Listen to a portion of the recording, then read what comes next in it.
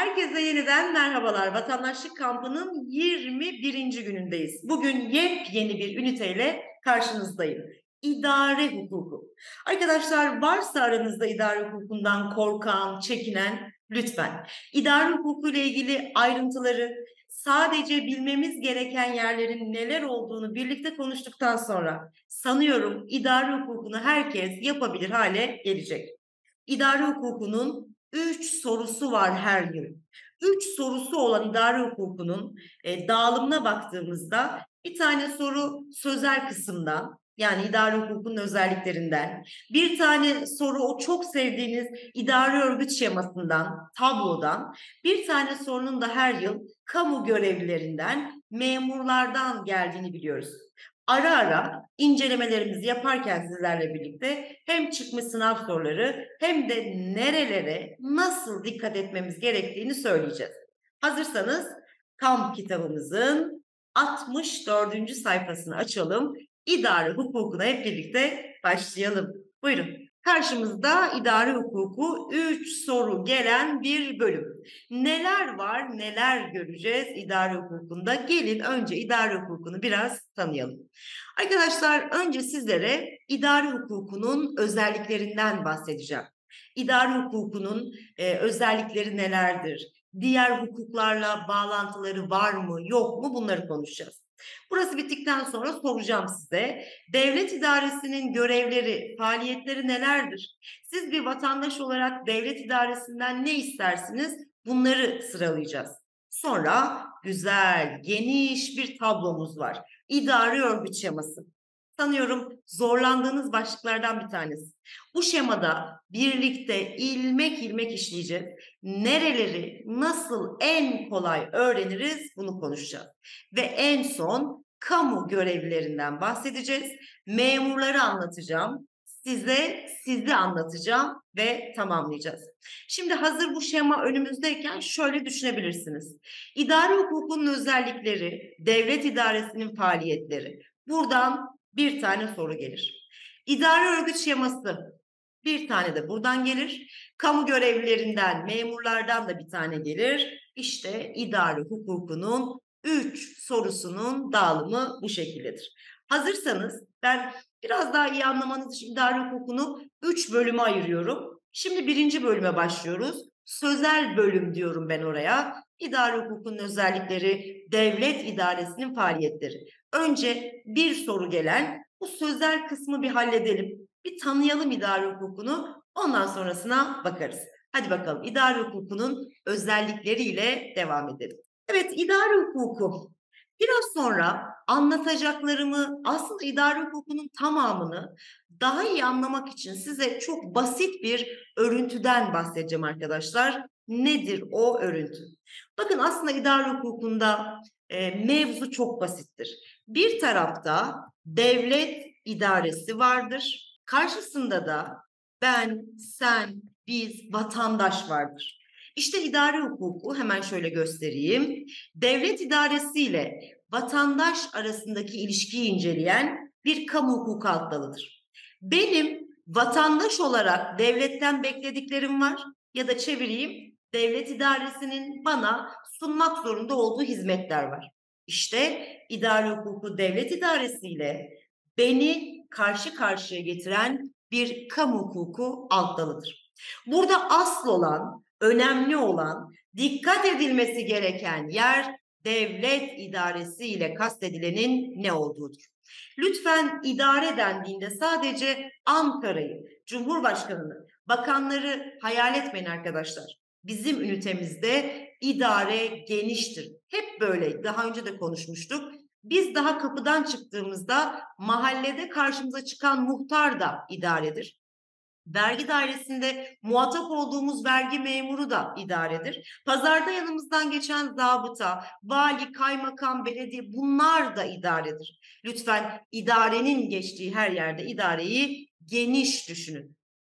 İdari hukuku nasıl bir hukuk dalıdır? Hemen kalemler elimizde yazıyoruz. İdari hukukun özelliklerinden bir tanesi beraberinde birkaç özelliği de getirecek. Bakın ilk yazacağım madde şu. İdari hukuku genç bir hukuk dalıdır. idari hukuku genç bir hukuk dalıdır. Ne demek bu? Tamamen tarihsel olarak gençlikten bahsediyorum. Diğer hukuklara göre daha geç ortaya çıkmış, diğer hukuklardan çok daha sonra ortaya çıkmıştır. Henüz yeni bir hukuk dalıdır.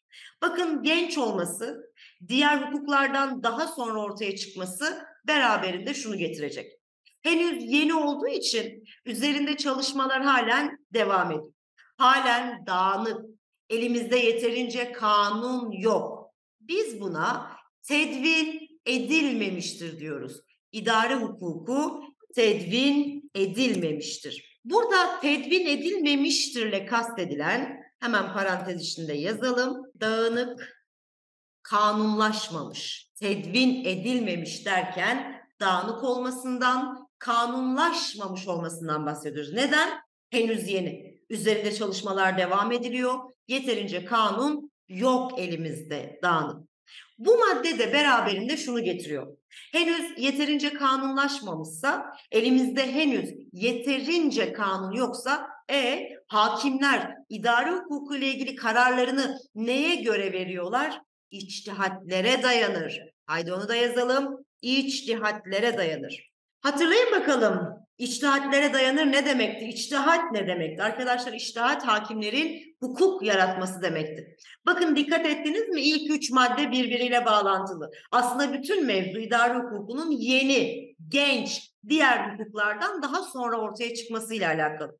E henüz yeni olduğu için dağınık, yeterince derlenip toplanmamış. Ne diyeceğiz buna idare hukukunda? Tedvin edilmemiş. E karar verilecek idare hukukunda hakimler de ne yapıyorlar? Kendi vicdani kanaatlerine göre tabii ki anayasaya aykırı olmayacak şekilde hukuk yaratıyorlar. Yani içtihatlere dayandırıyorlar.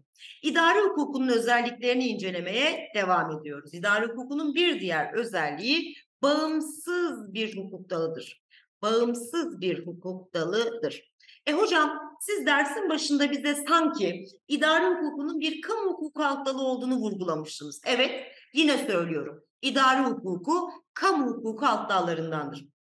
Hatırlarsanız geride kaldı. Biz hukuku temel hukuk kavramlarında alt dallarını ayırmıştık. Kamu, özel ve karma diye. İdare hukukunu hatırlayın bakalım. Kamu hukukuna yazmıştık. Burada bağımsız bir hukuk dalıdır derken idare hukuku kamuya, özele girmez demek istemiyoruz ki. Burada bağımsız ile kastedilen idare hukukunun yardım aldığı, etkilendiği, atıfta bulunduğu bir hukuk dalı yoktur. Bunu kastediyoruz.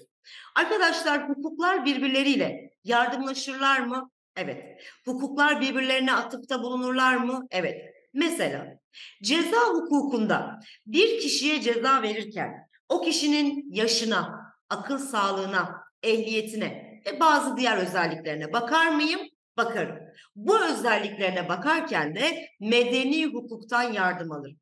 İşte buna benzer işte ceza ile medeninin yardımlaşması gibi bir yardımlaşma, bir etkileşim idare hukukuyla hiçbir hukuk dalı arasında yok. İdare hukuku tek başına bağımsız bir hukuk dalı.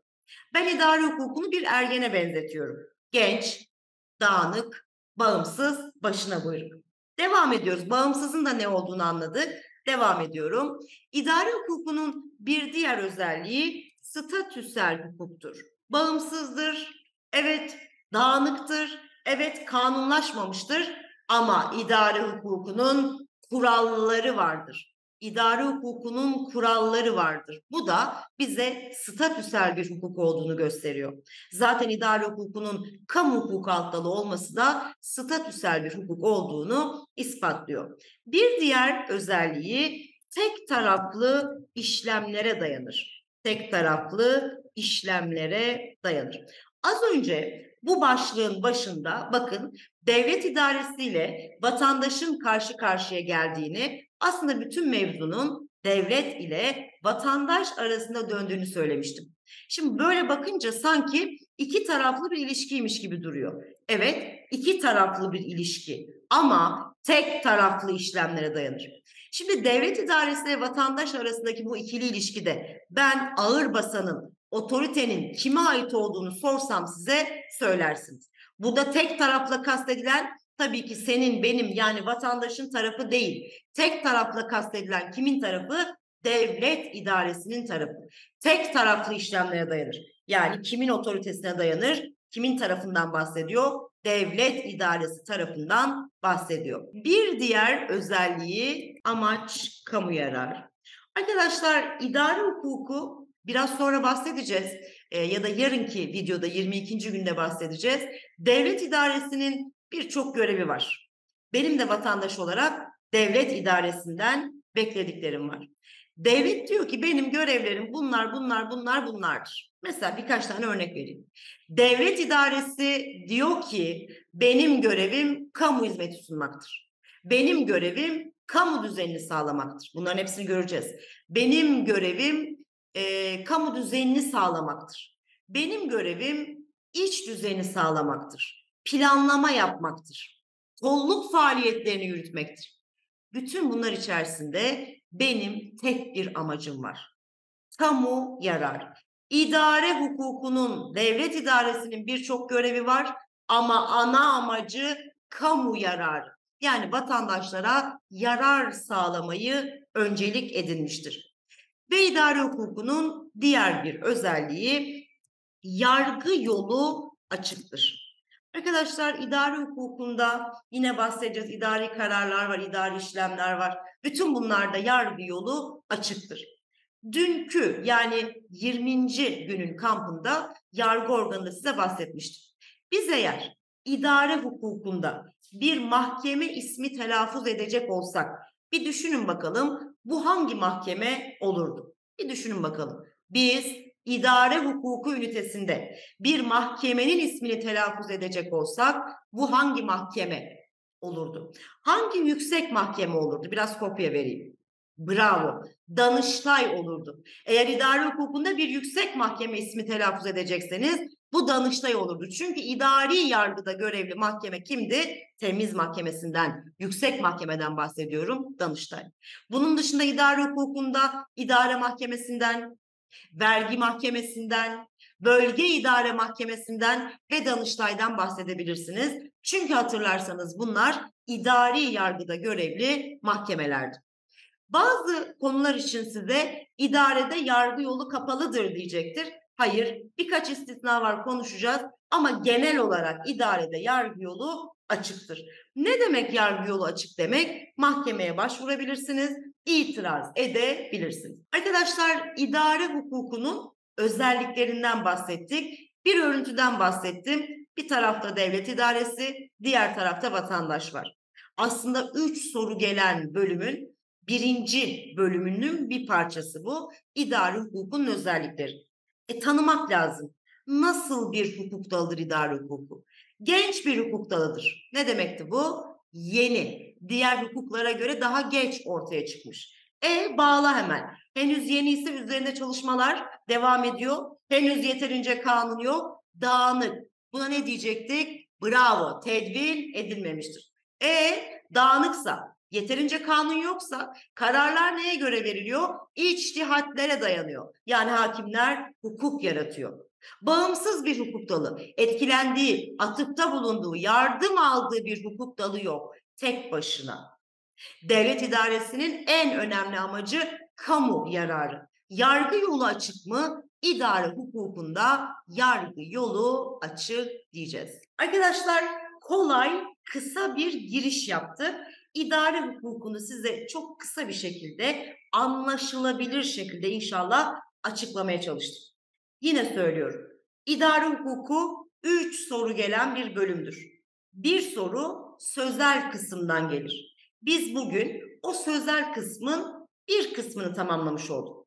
Yarın kampın 22. gününde kalan sözel kısımla birlikte bir soruluk alanı halletmiş ve tabloya geçiyor olacağız. Evet kolaydı çok zor değildi ama tekrar edilmesi gereken bir bölümdü. Hemen kampın 21. gününde size idari hukuku ile ilgili çok yormayacak bir ödev vermek istiyorum. Hemen şuradan tekrar yanlış olmasın. 77 ve 80. Soru Bankası'nın 77. ve 80. sayfa aralığını çözmenizi istiyorum. Arkadaşlar yarın kampın 22. gününde idari hukukuna devam etmek üzere. Sizi burada bekliyor olacağım. Görüşmek üzere. Tekrarlarınızı yapın, sorularınızı çözün. Hoşçakalın.